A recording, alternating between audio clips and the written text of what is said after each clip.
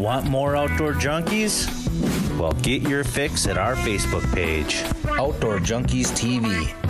To keep up with our hunting adventures, what's new, events, and giveaways, check out our Facebook page at www.facebook.com Outdoor Junkies TV. Go to our Facebook page and give us a like. And get your fix.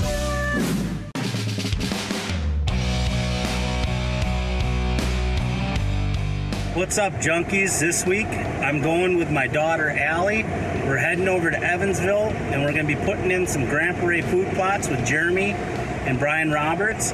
We've also got a special guest, John O'Brien from Grandpa Ray's, is going to come out and basically just walk us through on what we should plant, where and how to do the food plots and how to set it up. So stay tuned, folks. You're watching Outdoor Junkies.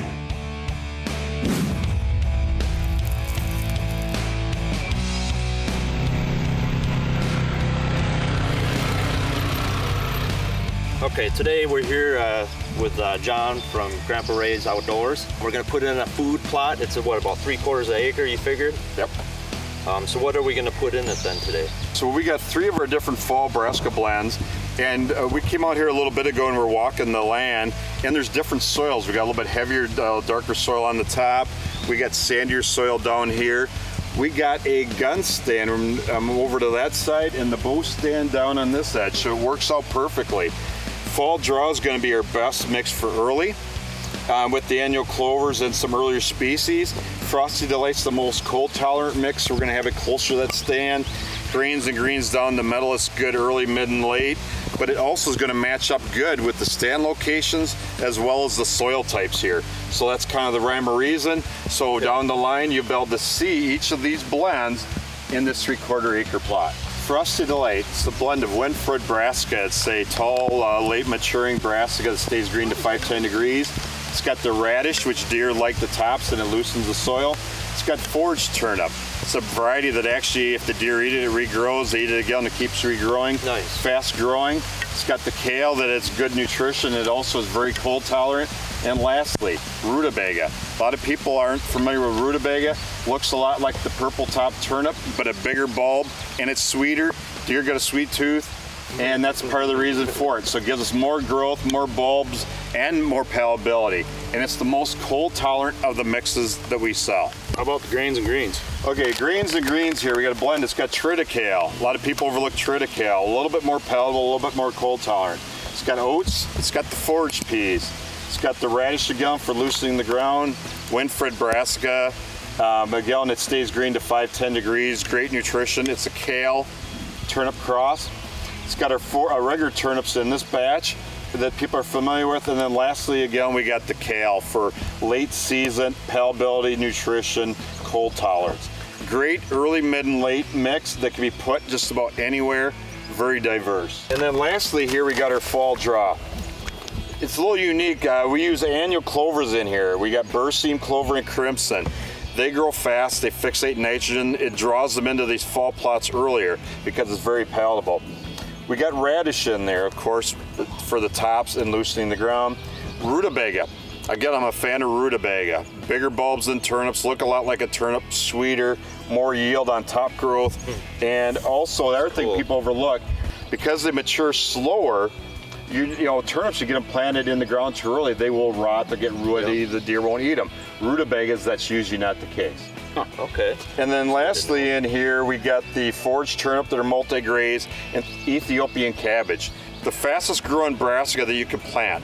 Deer like it for about early October through the, the first, second week in October. Gives you a lot of growth. Deer desire it. It's an overlooked forage. So those are the three main blends we sell that are brassica blends for fall planting. Uh, For those of you guys that are looking to get a little bit more detail with your property, we actually offer plot consulting services. We're out here in a plot that's very typical of a lot we see. We have variable soils. We got woods on one side, we got some trees on the other, we got some shaded area back there. So, besides just planting seed randomly, I'm somebody that can help you set up your properties, stage your properties, tell you where to plant it, when to plant it. Let's just say you got your clover plot planted in the spring and it's not looking perfect. Maybe it's a little weedy. Maybe it's looking a little unhealthy. I will come out, look at what's actively growing, and help you determine do we need to use dry fertilizer? Do we need to have you use some foliar plant foods? Grandpa Ray's Outdoors also offers those services. It's not just the seed, it's also about the soil. We normally, I like having scrape lines along where you're putting your bow stand. And in this case, we're gonna actually be using our Beresca blend, the fall draw that's got annual clovers. It's gonna draw them into the plot a little bit quicker. We always wanna to, try to stage the fall draw closer to where our bow stands are gonna be. Frosty Delight, we tend to wanna have it in the middle of the fields or areas where we can shoot farther. It's a cold tolerant mix, more late season. So if you have a choice where you got a bow, a gun stand and a bow stand, Frosty Delight closest to the gun stands, Fall Draw closest to the bow stands. So we're not just a seed company, we're a nutrition and agronomy based consulting business. Grandpa Ray's Outdoors, www.grandparaysoutdoors.com or call us at 608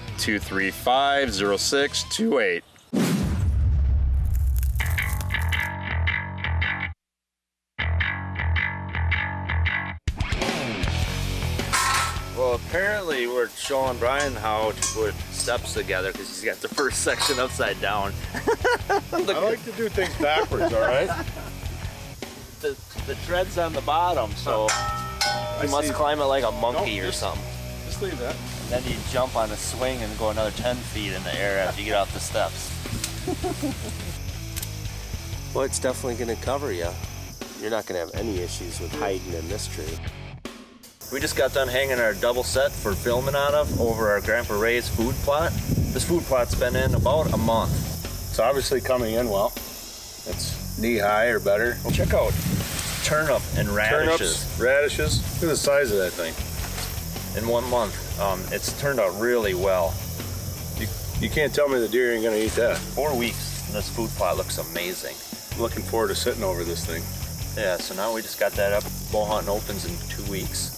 So stay tuned for this season of Junkies. We're pumped, man. We're just getting started. It's gonna happen. Oh,